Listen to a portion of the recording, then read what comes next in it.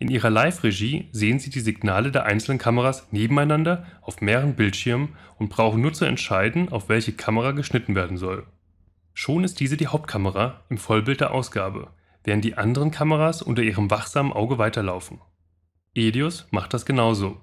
Sie können neben der Hauptkamera, also die Ausgabe, Hallo und herzlich willkommen zum Lernkurs Hands-on Wavelab 7.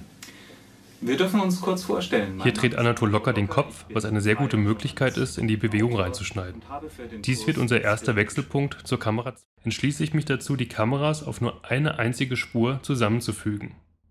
Um die Signale aller Kameras jetzt auf eine einzige Spur zu extrahieren, gehe ich Wir dürfen uns kurz vorstellen. Mein Name ist Anatol Locker, ich bin freier Journalist und Autor und habe für den Kurs die Skripte geschrieben.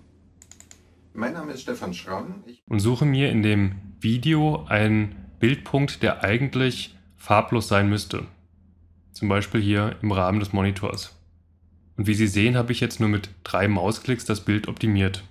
Was mir noch nicht gefällt, ist der Dynamikumfang, also der und entsättige die Farben mal in meinem gewählten Farbton. Und wie Sie sehen, geht sofort die Röte aus dem Gesicht heraus. Auch hier lege ich mir noch einmal ein Referenzbild meines Referenzclips in meine Farbkorrektur hinein. Könnte ich jetzt ganz gezielt wieder Farben picken oder aber auch mit den anderen Tools meine Farbe selektieren. Das kann ich deutlich gezielter machen als in der 3-Wege-Farbkorrektur, denn ich habe hier die Möglichkeit, die Farbe ganz gezielt